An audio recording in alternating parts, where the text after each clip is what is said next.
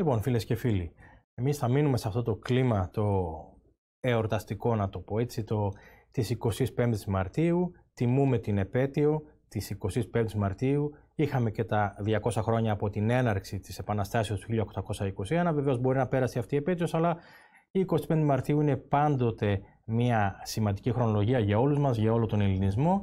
Και τώρα θα έχουμε οδηγό μας στην επόμενη συζήτηση για το 1821 θα βάλω πρώτα τη δημοσιογραφική του ιδιότητα, τον συνάδελφο δημοσιογράφο Κωνσταντίνο Γκιουλέκα και φυσικά βουλευτή της πρώτης εκλογικής περιφέρειας της Θεσσαλονίκης με τη Νέα Δημοκρατία. Γεια σας, κύριε Γκιουλέκα. Καλησπέρα, καλησπέρα και χρόνια πολλά. Χρόνια πολλά και στους ε, φίλους τηλεθεατές.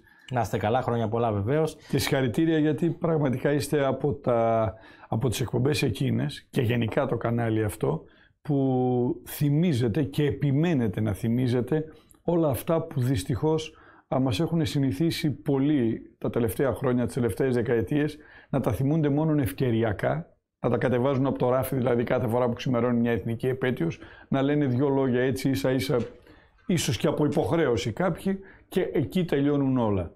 Χαίρομαι που είμαι σε ένα χώρο, σε ένα τηλεοπτικό δίκτυο, σε ένα μέσο ενημέρωσης που επιμένει, εγώ θα το πω έτσι όπως μου βγαίνει, επιμένει ελληνικά. Να είστε καλά, σας ευχαριστούμε πολύ. Τώρα, ε, έχετε βάλει εσείς σε αναστολή ενδεχομένως την ε, δημοσιογραφική σας ιδιότητα επειδή είστε πολιτικός. Στη συζήτηση που θα ακολουθήσει όμως, εγώ θα ζητήσω να βάλουμε σε αναστολή την πολιτική σας ιδιότητα και να μιλήσουμε δημοσιογραφικά αλλά και ιστορικά, γιατί σας καλέσαμε σήμερα και με αφορμή ένα που έχετε βγάλει, το χρονικό της Επανάστασης μέσα από τις εφημερίδες της Παλιγενεσίας. Δηλαδή, μιλάμε, επειδή έπεσε στα χέρια μου το βιβλίο, το έχω ξεφυλίσει και είδα ότι έχετε κάνει μια έρευνα η οποία πρέπει να ήταν πολλών ετών, κύριε Γκουλέκα. Είναι μια έρευνα δεκαετιών θα έλεγα, ε, με την έννοια βέβαια πάντοτε ότι και ως δημοσιογράφος ε, και ως δικηγόρος πριν μπω στην πολιτική αλλά και μετά ως πολιτευόμενος ε, σίγουρα δεν μπορούσα να έχω αποκλειστική απασχόληση το να μπορώ να ψάξω αυτά τα αρχεία, αλλά ήταν μια έρευνα για να εντοπίσουμε ε, όλα εκείνα που κυκλοφόρησαν, που εκδόθηκαν, που τυπώθηκαν στην Ελλάδα μέσα στην Επανάσταση. Όχι τα απομνημονεύματα των αγωνιστών, τα οποία τα ε, έγραψαν, ναι. ναι. τα έγραψαν οι πρωταγωνιστές όταν τελείωσα, έπεσε η αχλή των γεγονότων, τελείωσε η Επανάσταση, απελευθερωθήκαμε και μετά με την ηρεμία τους στην περίοδο της ειρήνης έγραψαν αυτά τα οποία έκαναν, δηλαδή είναι πολύ σημαντικά τα απομνημονεύματα, απλώς γράφονται σε χρόνο ύστερο. Αυτά τα δημοσιεύματα, σαν αυτά που βλέπουμε τώρα, οι προκήρυξεις και οι εφημερίδες, γιατί αυτό είναι το σημαντικό ότι πολλοί κόσμος, και είναι λογικό, δεν ξέρει ότι μέσα στην Επανάσταση του 21 κυκλοφορούσαν ελληνικές εφημερίδες. Βέβαια, όχι με τη μορφή που κυκλοφορούν σήμερα οι εφημερίδες. Οι εφημερίδες αυτές μου έκανε εντύπωση που γράφεται μέσα ότι ήταν χειρόγραφες κάποιες από αυτές. Δηλαδή τις γράφανε σε πολλά αντίτυπα Ακριβώς. με το μελάνι. Όπως Χωρίς να τυπωθούν. Έτσι. Ε, καταρχήν, έως την κήρυξη της Επανάστασης δεν υπήρχε απολύτως τίποτα. Στην Ελλάδα ήταν μια σκλαβωμένη χώρα, ήταν μια ε, ένα μέρος της Οθωμανικής Αυτοκρατορίας, ένα σκλαβωμένο έθνος. Όταν ξεκίνησε η Επανάσταση, οι Έλληνες είχαν απόλυτη ανάγκη να στείλουν το μήνυμα παντού στην Ελλάδα για να συνεγείρουν και τους υπόλοιπους ε, συμπατριώτες μας, αλλά και στο εξωτερικό για να ενημερώσουν τη διεθνή κοινή γνώμη για το δικό τους αγώνα. Δηλαδή εμείς έπρεπε να πούμε ως Έλληνες ότι δεν είμαστε ένα κομμάτι της Οθωμανικής Αυτοκρατορίας που απλώς ζητάει περισσότερα δικαιώματα γιατί αισθανόμαστε καταπίεση από τον Σουλτάνο. Εμείς ήμασταν ένα υπόδουλο έθνος που ερχόταν από πολύ μακριά και που πήγαινε μπροστά πολύ μακριά, είχε μια τεράστια ιστορία, είχε ένα τεράστιο πολιτισμό, μας υποδούλωσαν με το μαχαίρι, κυριολεκτικά, και επί τέσσερις αιώνες ζήσαμε την πιο βαριά δουλεία που έζησε το έθνος μας. Και έπρεπε να ελευθερωθούμε γιατί δεν άντεχαν άλλο οι Έλληνες, λέγοντας το περίφημο «ελευθερία ή θάνατος» τότε. Έτσι λοιπόν για να επανέλθω στο βιβλίο, ε, όταν ξεκίνησε η Επανάσταση, άρχισαν όπως είπατε να γράφουν εφημερίδες χειρόγραφα. Δηλαδή έπαιρνε κάποιος και έγραφε 5-10 αντίγραφα μιας εφημερίδας, τα έστελνε σε 10 μέρη. Αυτοί που τα λάμβαναν εκεί, τα, ε, αντιγρα... τα, τα κάναν αντιγραφή σε άλλα 5-10 αντίτυπα, τα στέλναν σε άλλα 5-10 μέρη για να διαχύσουν έτσι την είδηση του τι συνέβαινε. Και μάλιστα αυτές οι εφημερίδες ξεκινούν σχεδόν με την έναρξη της Επανάστασης. Δηλαδή όταν τον Μάρτιο του 1821 Ξεκινάει η Επανάσταση στην Ελλάδα, στην κυρίως Ελλάδα, γιατί από το Φεβρουάριο είχαμε τα γεγονότα την κήρυξη Επανάστασης από τον Αλέξανδρο Υψηλάντης στις παραδουνάβιες ηγεμονίες στη Μορδοβλαχία.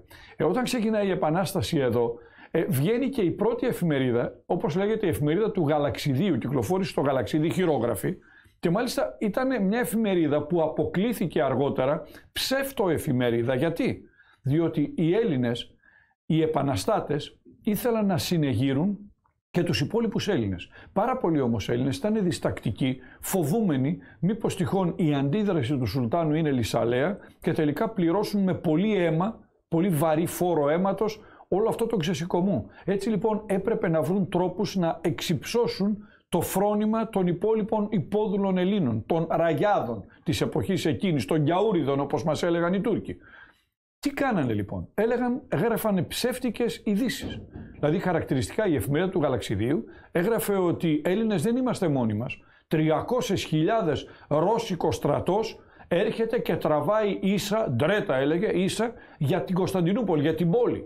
Ότι δεν είναι μόνοι οι Έλληνες, αλλά υπάρχουν και 300.000 Ρώσοι οι οποίοι πήγαιναν να καταλάβουν την Κωνσταντινούπολη, την έδρα δηλαδή τότε του Σουλτάνου, της υψηλής πύλης, την έδρα της Οθωμανικής Αυτοκρατορίας. Φυσικά αυτό ήταν απολύτως ψευδές, δεν υπήρχε τίποτα τέτοιο. Οπότε βλέπουμε ένα, μια πρώιμη μορφή υβριδικού πολέμου, θα το λέγαμε. Ήταν ένας υβριδικός πόλεμος στην εποχή και αναλογικά έτσι ακριβώς. Έτσι λοιπόν έχουμε τις πρώτες εφημερίδες που είναι χειρόγραφες και η πρώτη ε, τυπωμένη πια εφημερίδα α, βγαίνει στην Καλαμάτα τον Αύγουστο του 1821 είναι η ελληνική Σάλπιγγα, Σάλπιγγς ελληνική και τι δημοσιεύει στο πρώτο φύλλο; Την πρώτη προκήρυξη που ο Αλέξανδρος Υψηλάντης κυκλοφόρησε, τύπωσε σε τυπογραφείο που είχε μαζί του στις παραδουνάβιες ηγεμονίες και ξεσήκωνε τους εκεί Έλληνες να εγερθούν για να αποτινάξουν το ζυγό. Τη γνωστή και... μάχου υπέρ πατρίδος. Ακριβώς. Μάχου υπέρ πίστεως και πατρίδος. Και ξέρετε, ε, το λέω αυτό γιατί.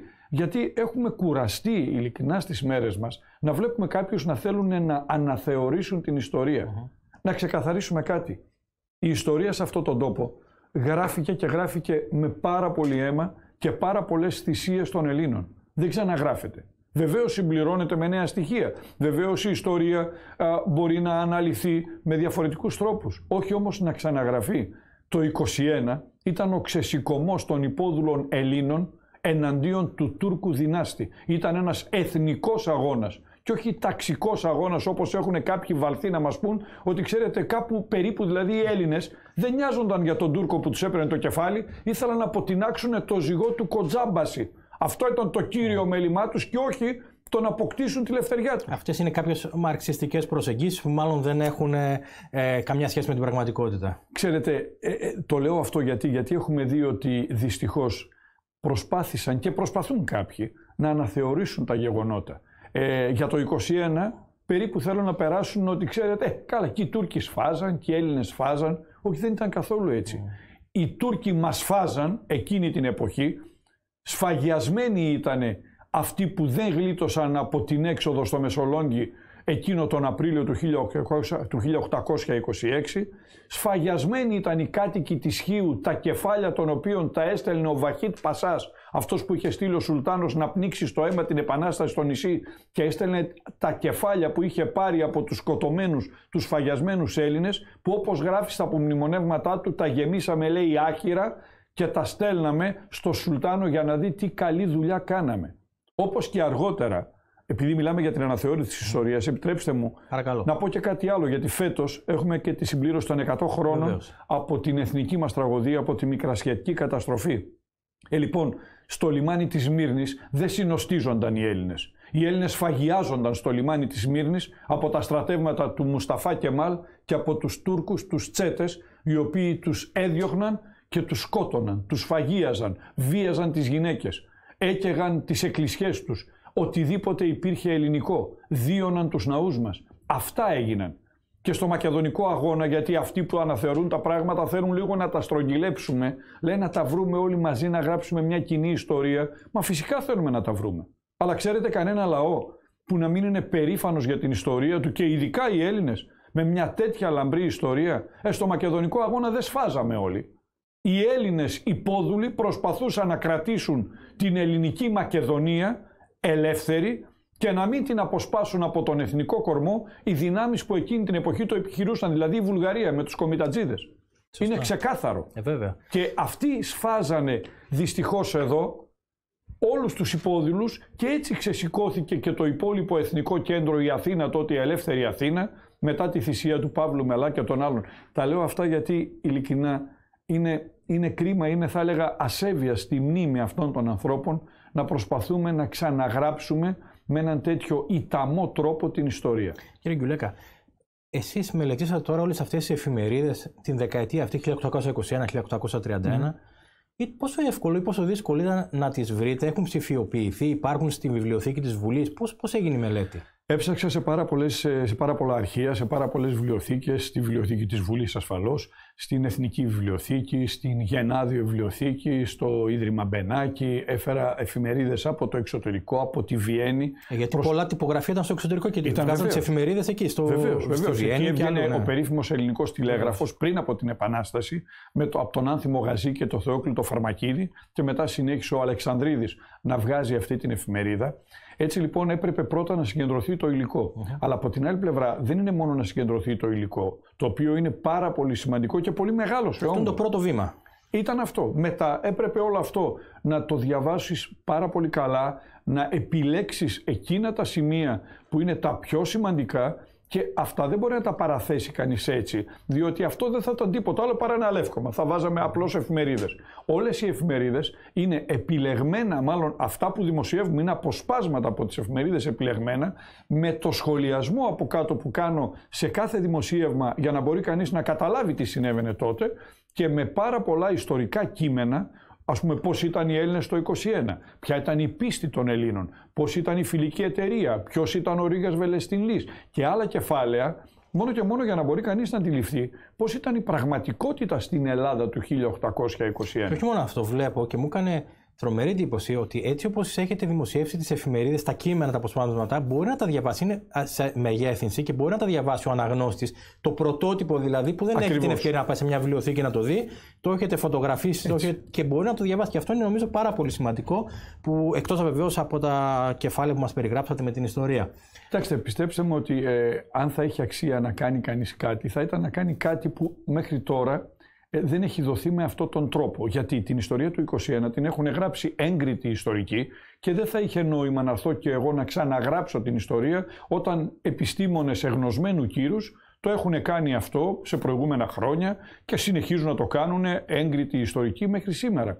Ε, Είδα όμως ότι δεν είχε δοθεί ποτέ όλο αυτό το υλικό στη δημοσιότητα. Να το πω αλλιώς, δεν είχαμε δει ποτέ την Επανάσταση μέσα από τα ίδια τα κείμενα γιατί τις εφημερίδες τις γράφαν οι αγωνιστές του 21 μέσα από τα ίδια τα κείμενα των αγωνιστών.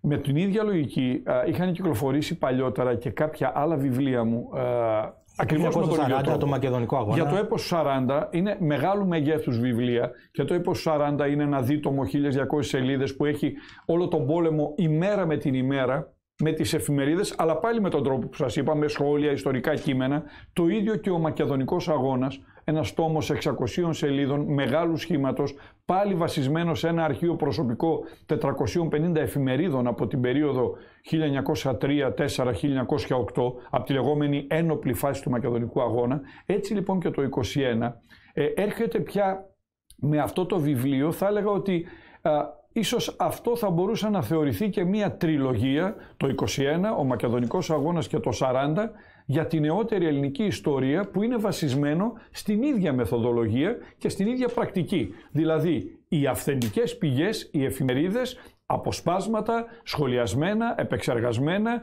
ντυμένα με όλο το ιστορικό κείμενο το οποίο αποτελεί το υπόβαθρο, γιατί δεν είναι κανείς ε, εύκολο να ξέρει τι συνέβαινε. Ας πούμε στο βιβλίο του 21 είναι όλα τα χρόνια από το 1821 έως και τη δολοφονία του Καποδίστρια το 1831, 11 χρόνια, έτος έτος, σε κάθε χρόνο υπάρχει ένα λεπτομερές χρονολόγιο για να μπορεί κανείς να θυμηθεί και να πληροφορηθεί. Μπορεί να ξέρουμε όλη την ιστορία. Τι συνέβη εκείνο το χρόνο και μετά να μπορεί να διαβάσει τα αποσπάσματα από τις εφημερίδες, τις αυθεντικές και όπως είπατε παραθέτουμε τις αυθεντικές σε ένα μεγάλο μέγεθος για να μπορεί κανείς να διαβάσει ακόμη και να δει και με ποια τυπογραφικά στοιχεία τυπώνονταν όλα αυτά. Και όχι μόνο αυτό, έχει ε, και συγκίνηση προσφέρει στον αναγνώστη, αλλά και πληροφορίες άγνωση. Δηλαδή, βλέπουμε τι έγραφε ο Μάγερ, ο Φιλέλληνα, την περίοδο της πολιορκίας του Μεσολογγίου ε, και βλέπουμε όμως και τι έγραφε ο μεγάλος ο δικαστής ο Αναστάσιος ο Πολυζωίδης όταν δολοφονήθηκε Βεβαίως. ο Καποδίστρια στον Απόλλωνα του οποίου η πρωτομή υπάρχει εδώ έξω από τα δικαστήρια Ακριβώς. σπουδαίος νομικός αλλά έλεγε ότι δικαίως δολοφονήθηκε ο Καποδίστριας. Ο μεγάλος Πολυζωίδης είχε βγάλει την εφημερίδα Απόλλων στην Ήδρα και από εκεί πολεμούσε λυσαλέα τον Καποδίστρια τον οποίον αποκαλούσε τύρανο και όταν στις 27 Σεπτεμβρίου του 1831 σκότωσαν οι Μαυρομιχαλαίοι τον Καποδίστρια έξω από τον ναό του Αγίου Σπυρίδωνα στο Ναύπλιο, τότε κυκλοφορεί ο Πολυζωίδης δύο μέρες μετά την εφημερίδα και λέει τώρα τελειώσαμε την αποστολή μας. Βεβαίως υπήρξε ο θάνατος ενός ανθρώπου, αλλά έκαναν πολύ καλά αυτοί που το σκότωσαν γιατί απάλαξαν την πατρίδα από ένα τύρανο. Αυτή ήταν η αποστολή μας, να απαλλάξουμε την Ελλάδα από τον τύρανο Καποδίστρια. Τώρα δεν χρειάζεται να συνεχίσουμε να βγάζουμε την εφημερίδα. Είναι οι άλλες πτυχές του 21. Όπως υπάρχουν μέσα, ξέρετε, επιστολές του Κολοκοτρώνη, του Καραϊσκάκη που εξηγούν πώς έκαναν τις μάχες. Και αυτά είναι τα αυθεντικά κείμενα των ίδιων των αγωνιστών. Και είπατε για τον Ιάκωβο Μάγερ, τον φιλέλληνα Ελβετό, που ήταν μέσα στο Μεσολόγγι, ήρθε εδώ, παντρεύτηκε με Ελληνίδα, έκανε παιδιά. Ένα νομίζω από τους πατέρες της ελληνικής δημοσιογραφίας. Βεβαίως. Έβγαζε τα ελληνικά χρονικά για δύο χρόνια μια συγκλονιστική εφημερίδα. Και ξέρετε, στο τέλος, λίγο πριν την έξοδο, αφού πια το Μεσολόγγι δεν άντεχε άλλο και δεν μπορούσε να πάει βοήθεια, δεν έστελναν βοήθεια, καθυστερούσαν οι δικοί μας και μετά όταν έσφιξε η πολιορκία από τους Τουρκοαιγύπτιου, δεν μπορούσε να φτάσει βοήθεια των Ελλήνων, των υπόλοιπων Ελλήνων. Τότε ο Μάγκερ στέλνει μια επιστολή σε ένα φίλο του και λέει το εξής. Λέει, ξέρεις, έσπασα το τυπογραφείο στο οποίο τυπώνονταν τα ελληνικά χρονικά και πήρα και τα τυπογραφικά στοιχεία ένα-ένα και τα σπάσα με τα χέρια μου και τα έθαψα στο χώμα για να μην τα πιάσουν τα χέρια τα μυαρά των εχθρών όταν θα μπουν στο Μεσολόγγι, ήξερε ότι το Μεσολόγγι θα χαθεί, μην πιάσουν αυτά τα στοιχεία, με τα οποία, τα τυπογραφικά στοιχεία, με τα οποία τυπώθηκαν οι ηρωικοί αγώνες των Ελλήνων. Τόσο πολύ ταυτίστηκε ο Μάγερ, ο οποίος μετά, λίγο και μετά στις 10 Απριλίου του 1826, χάθηκε στην έξοδο και, έχασε και, και αυτός ναι. ακριβώς σκοτώθηκε μαζί με την οικογένειά του. Τώρα, ε, κύριε Γκιουλέκα, έχουμε λίγο χρόνο. Γιατί τα αποκαλείτε όλα αυτά τα εθνικά μας Ευαγγέλια; Γιατί κυριολεκτικά όπως κανείς πάει στην εκκλησία να ακούσει τον αυθεντικό λόγο α, της πίστης μας όπως τον απέδωσαν οι Απόστολοι και όπως μεταφέρουν μέσα ακόμη και τον λόγο του Κύριου, του Κύριου ημών Ιησού Χριστού, με την ίδια λογική και αυτά τα Ευαγγέλια, αυτά τα κείμενα είναι εθνικά Ευαγγέλια γιατί περιέχουν την αλήθεια των αγωνιστών που κάνανε την επανάσταση των πάπων μας δηλαδή, γιατί οι παππούδες και οι γιαγιάδες μας ήταν αυτές που κάναν, αυτοί που κάναν το 21 και αυτά είναι η δική τους αλήθεια, όπως τη βλέπανε Με τις υπερβολές τους, με τα πάθη τους, τα εμφύλια πάθη τους. Μην ξεχνάμε ότι μέσα στον πόλεμο, μέσα στην Επανάσταση, σκοτώνεται ο Πάνος ο Κολοκοτρώνης, ο γιος του Κολοκοτρώνη από, από βόλι ελληνικό και τραυματίζεται ο γενναίος Κολοκοτρώνης. Μην ξεχνάμε ότι ο Οδυσσέας Ανδρούτσος σκοτώνεται από τα παλικάρια του Γκούρα. Ο Γιάννης ο Γκούρας ήταν το πρωτοπαλίκαρο του Οδυσσέα Ανδρούτσου και μετά έβαλε κάποια παλικάρια του να σκοτώσουν τον Οδυσσέα Ανδρούτσο. Τότε το παρουσίασαν ως ατύχημα. Μετά βέβαια η ιστορία απέδωσε την πραγματικότητα. Την πυρπόληση του στόλου από τον ε, Μιαούλη. Την πυρπόληση του στόλου από τον Μιαούλη. Είναι δηλαδή το 21. Μας διδάσκει, γι' αυτό μιλώ για εθνικά Ευαγγέλια. Είναι κείμενα εθνικής αυτογνωσίας. Μας διδάσκει τι ακριβώς έγινε και ξέρετε, αν το θέλετε, είναι και το σάλπισμα για το χρέος και το καθήκον που έχει ο καθένας προς αυτή την πατρίδα. Το καθήκον να διδάσκεται από το θάρρος εκείνων των ανθρώπων το κουράγιο, την αποκοτιά και το πνεύμα αυτοθυσίας, αλλά να διδάσκεται και από τα λάθη εκείνων των ανθρώπων για να μην επαναλάβουμε αυτά τα λάθη και ειδικά εμείς. Εμείς που πολιτευόμαστε ε, πρέπει να ξέρουμε πολύ καλά την ιστορία μας γιατί δυστυχώς πολλά πράγματα ξαναγίνονται από άγνοια της ιστορίας σε αυτό τον τόπο. Εγώ θεωρώ ότι αυτά είναι πραγματικά εθνικά Ευαγγέλια, γιατί είναι τα δικά τους κείμενα και νομίζω ότι θα πρέπει να τα μελετούμε, όχι μόνο κάθε φορά που έρχεται, όπως είπαμε, μια εθνική επέτειος, αλλά διαρκώς, γιατί σε αυτό τον τόπο αλίμονο αν πιστέψουμε ότι θα λείψουν ποτέ οι επιβουλείς. Άρα πρέπει να ξέρουμε τι συνέβη, να ξέρουμε ότι η ελευθεριά μας και η ανεξαρτησία μας κερδίθηκε με πάρα πολύ αίμα, με πάρα πολλούς αγώνες. Αγωνιζόμαστε να οχυρώνουμε την ειρήνη μας για να μην χρειάζεται ποτέ να ξαναρθούμε σε κάτι τέτοιο. Σήμερα η πατρίδα δεν ζητάει θυσίες σε αίμα, ζητάει μόνο να δώσουμε τον καλύτερο εαυτό μας. Αλλά σε κάθε περίπτωση πρέπει να ξέρουμε ότι αν ποτέ, ομιγέννητο, αν όμως ποτέ η πατρίδα ξαναχρειαστεί τα παιδιά της, δεν έχουμε παρά να μιμηθούμε το παράδειγμα εκείνων των ανθρώπων, των ηρώων μας, των πάπων μας δηλαδή, οι οποίοι πραγματικά μας κάνουν περήφανους και όχι μόνο κάθε 25η Μαρτίου ή κάθε 28η Οκτωβρίου, πρέπει να θυμόμαστε τις πράξεις τους κάθε μέρα. Νομίζω κάνετε τον καλύτερο επίλογο κύριε Γκιουλέκα. Πριν κλείσουμε, Γνωρίζουμε ότι ήδη έγινε παρουσίαση και στον Δήμο Αμπελοκήπων Μενεμένης και στο Δήμο Καλαμαριάς. Έχετε κάποιο πρόγραμμα για ναι, ε, επειδή η πανδημία δεν επιτρέπει έτσι, μεγάλες ε, εκδηλώσεις, γι' αυτό το λόγο προτίμησα να κάνω τοπικές εκδηλώσεις στους Δήμους της Θεσσαλονίκης. Θα ακολουθήσει ο Δήμος Κορδελιού Ευόσμου, ο Δήμος ε, Παύλου Μελά, Νεάπολης ε, και Πεύκων και τα λοιπά και Σικαιών. Δηλαδή σε κάποιους τοπικούς Δήμους θα γίνει και μία εκδήλωση στο κέντρο της ε, Θεσσαλονίκης, στον κεντρικό Δήμο, αλλά σε κάθε περίπτωση ε, λόγω της πανδημίας αυτές οι εκδηλώσεις είναι καλύτερο να γίνονται α, μικρότερες ε, τοπικα και αυτό το πράγμα για μένα είναι και θέμα τιμής γιατί σε όλα αυτά τα μέρη επί χρόνια ολόκληρα ως πολιτευόμενος ζήτησα την εμπιστοσύνη των ε, συμπολιτών μας. Πολλοί από αυτούς μου την έδωσαν και συνεχίζουν να μου τη δίνουν και το θεωρώ θέμα τιμής να πάω σε αυτούς τους τόπους που μου άνοιξαν πολύ τα σπίτια τους, τις καρδιές τους, με τίμησαν με τη φιλία τους και με τιμούν ακόμη με την εμπιστοσύνη τους.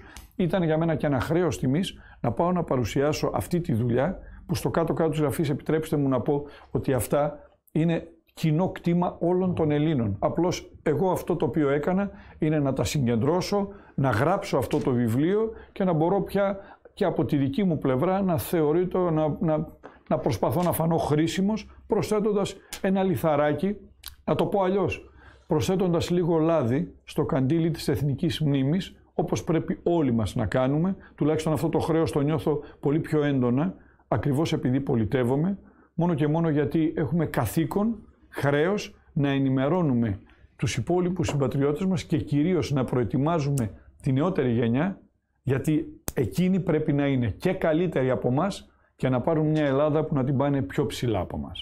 Κύριε Γκουλέκα, να σας ευχαριστήσω πάρα πολύ για την παρουσία σας σήμερα στη Βεργινά τηλεόραση. Εγώ ευχαριστώ για την τιμή της φιλοξενίας. Χρόνια πολλά σε όλους τους φίλους τηλεθεατές. Να είστε καλά.